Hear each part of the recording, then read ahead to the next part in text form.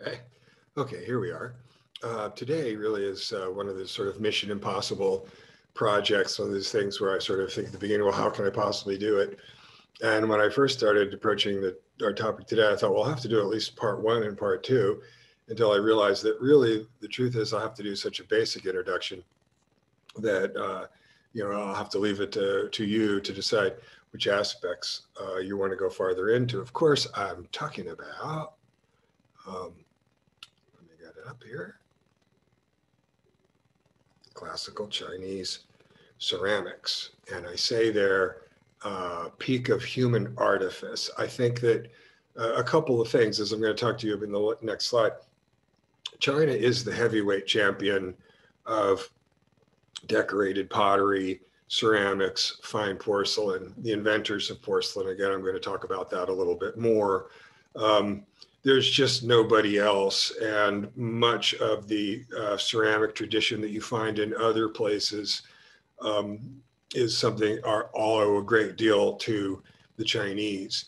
The other thing is that there are so many different periods, and each period, of course, uh, there are workshops. And so, as with some of the ancient Greek uh, craters and other um, ceramics, you have workshops, you have individual artists. Of course, in Chinese history, everything is also always divided into dynasty.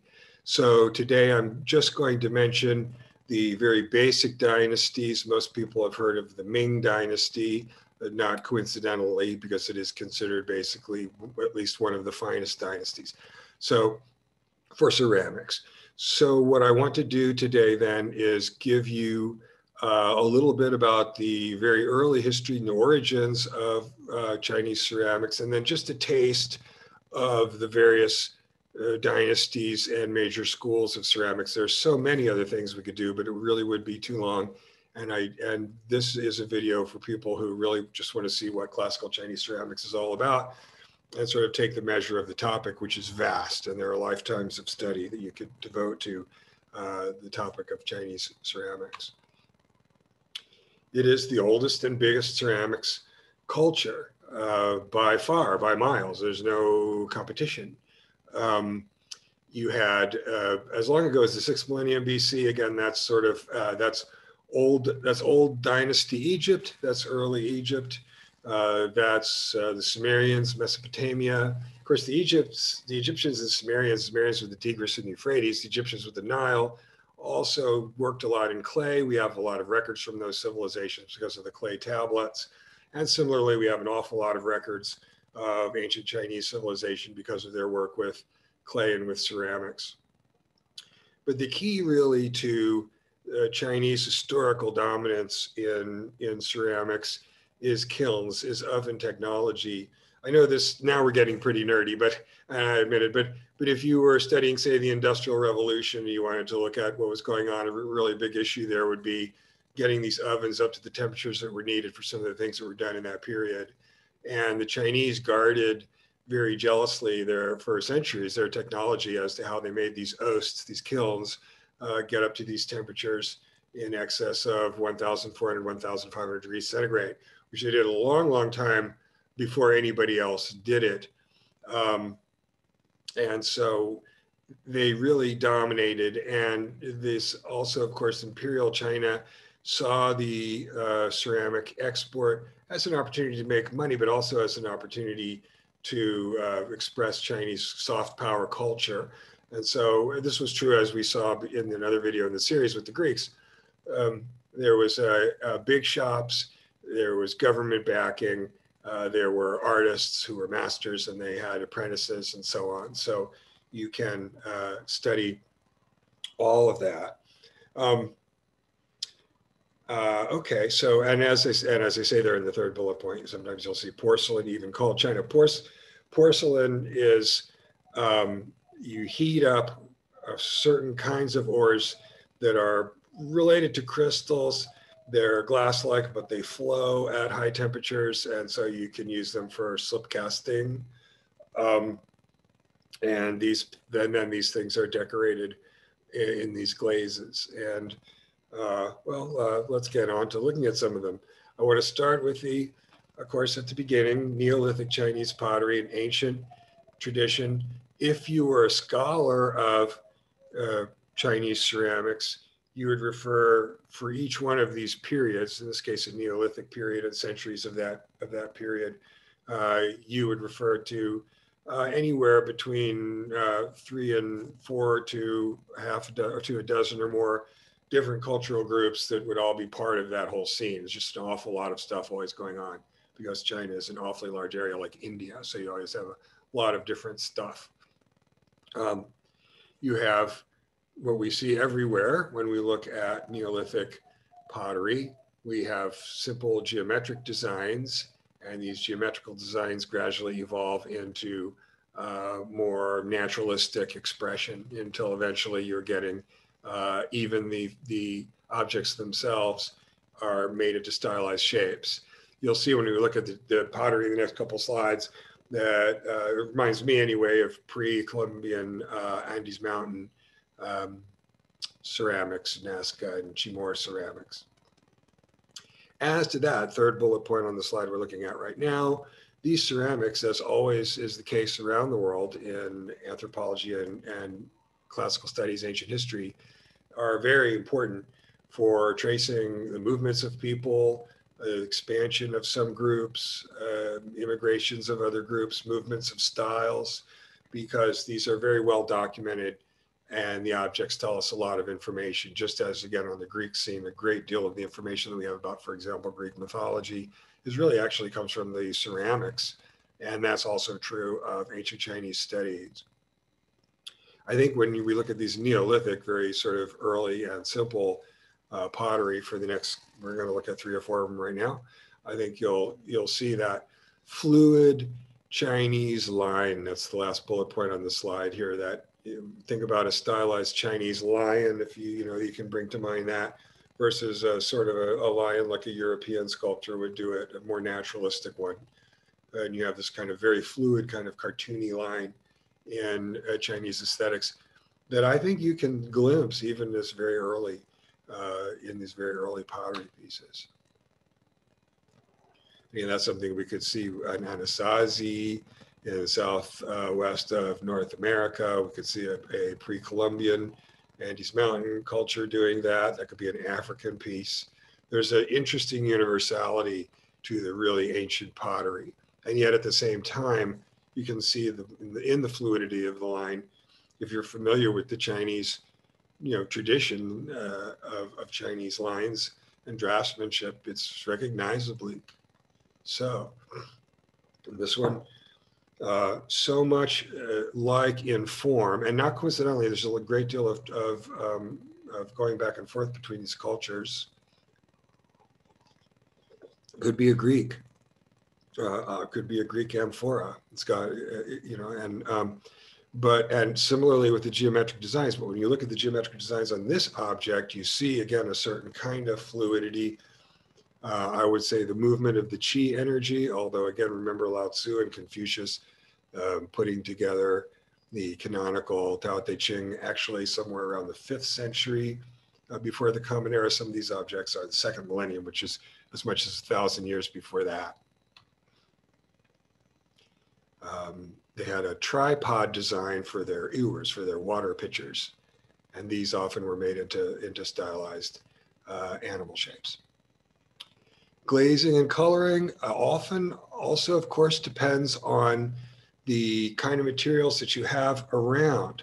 Um, the Etruscans had incredible uh, ore deposits of the alloys that they needed to make bronze, as they have incredible bronze tradition, but the geology has to be there. Well, similarly with these more subtle things like the glazing and the coloring, um, not so easy to make a glaze that'll to make a color that'll stay fast, and uh, depends on a lot of different factors. So celadon is a green glaze developed during the Tang Dynasty, as you see there. And uh, this is enormous sort of submarket. Celadon was made in modern times. You have celadon objects that are mass produced, for example, in the United States in the 1930s, 40s, 50s, which are actually prized by collectors. But imagine how uh, prized these ancient um, objects over a thousand years old from uh, classical China fetch. Again, a celadon covering with a dragon wrapped around the mouth of the vessel there. And always, and we again with uh, ancient Greek, um, I'm going to let it ring twice since it probably might be sweating. Yeah, okay, sorry. Um, yeah, okay, never mind. I don't know what that, I don't know what that number is. Um, so anyway, um, right, funerary figures. And obviously in Egypt, even if we know only a little bit about Egyptology, we know that most of the information we get about Egyptology was because of their uh, rather extravagant funerary practices. Uh, similarly in Mesopotamia, uh, and similarly in many other places. Very important in China because the, um, as in Egypt, the idea was that the deceased uh, royalty would need all sorts of things in the afterlife. So we have uh, very nice pieces. Again, these are very old. These are from the earliest Song and Tang, another funerary object. And again, that's that's about 1,300 to 1,500 years old. Beautiful, beautiful glazes. Uh, and that glaze that you're looking at, I mean, again, this object is from something like maybe the eighth century, the ninth century of the Common Era. So it's you know, it's something like 1,200 years old. And look at the glaze that it has. You know, so these were really uh, incredible craftsmen. And these look like pieces that you can see. There's one on the left. I mean, you know, that that looks like for a palette that a French impressionist might use. And it looks like a line that a French impressionist might use to do the flowers as well. To say nothing of the one on the right, which is a beautiful piece. I think I made one looks like I think I made some salt and pepper shakers that look like that in high school, but I think I made them by mistake because I screwed the glaze up. But this artist is not screwing the glaze up, and there are, as I mentioned, there are literally thousands of these objects. So eventually, you've got uh, big workshops, and you've got imperial investment, and uh, and so then you really start to get this period of high art you in Europe, I would say it uh, obviously Renaissance statuary in Italy and the big canvases of people like Rubens, which which couldn't have been made without uh, without big patronage. The quality of these ancient Chinese ceramics is is like that because they've got that kind of back. Just a beautiful thing. I give anything to be able to make an object like that beautiful and elegant lines, as I say, uh, that celadon uh, color, celadon color on the glaze on the right is one that then is very much used in later times, comes from China, and, and draftsmanship that is uh, really unbelievable and patterns that are unbelievable. Some of these uh, repeating patterns that we'll see on some of these objects are hand painted by stencils, using stencils by artisans, others are just hand painted uh, freehand by artisans. Uh, as I mentioned before, in, in, Neolithic pottery, anthropologists look that look at that to look at sort of ethnic migrations, linguistic migrations, uh, leading up to Greater China. But now in the medieval period, we have these uh, marks and famous workshops, and so of course that's tremendous um, documentation. And that documentation also enables us to understand a lot of things about the surrounding society, not just about the ceramics. So this blue on white is very characteristic. We characterize it in Europe. We often find this called Delft. Uh, the Dutch were the first people to manage to reproduce what the Chinese were doing. It was hundreds of years later, three or 400 years it took them to figure that out. But uh, it originally, the look originally is uh, Chinese. And so uh, they're a nice big object. And you can learn, of course, also we learn a lot about everyday life in China. We learn about a lot about um, uh, the clothing people uh, wore and other things from these objects. And the Ming Dynasty uh, when you have that this is all sort of uh, maturing into a uh, an exports an export industry that is at a very high peak of excellence indeed.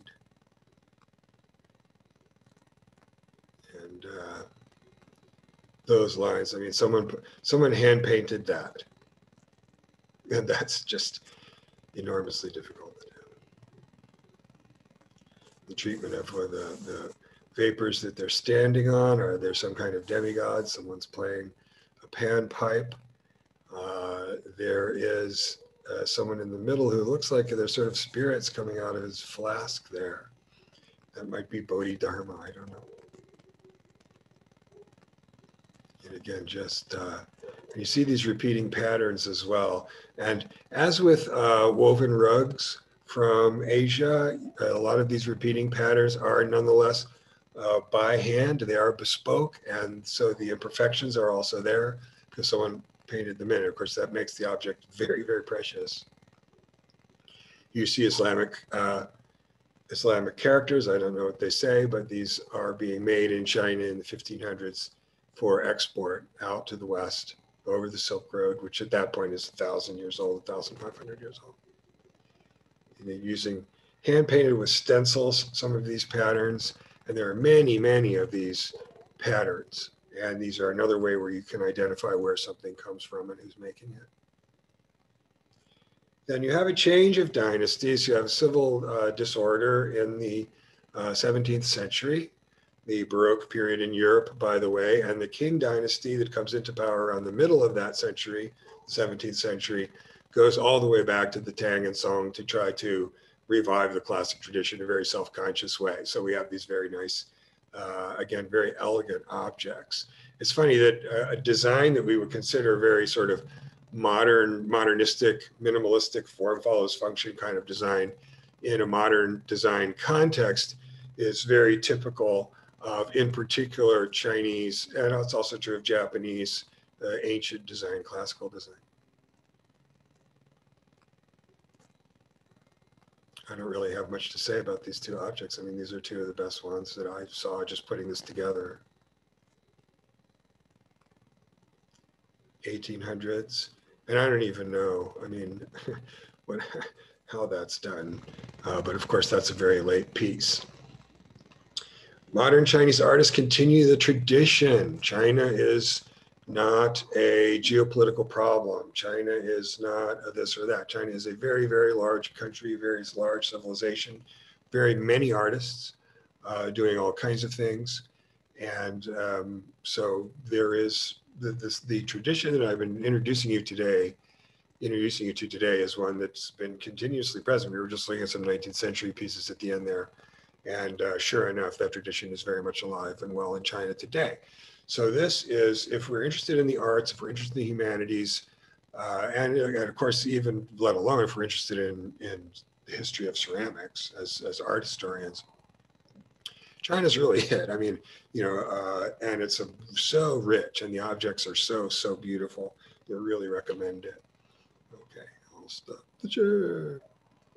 Okay, so a very brief introduction. What now, what I'm going to do is make available to you on Moodle the links. There are a lot of different ways you can go. Uh, there, you can look at different styles. You can look at different periods. You can look at the Neolithic stuff. You can look at the way these things are made. That's something that always interests me. And I'll give you some links as to how these things are done, how these artists got those designs onto those surfaces, um, and other things. Um, we didn't talk about lacquerware. Well, I'll give you a link to lacquerware and you can look at that too. So uh, all right, so that's classical Chinese ceramics on a stick. Uh, it's a beautiful topic, so enjoy yourself this week uh, looking up uh, and studying more about uh, classical Chinese ceramics and classical Chinese porcelain. Okay, I'm gonna stop recording.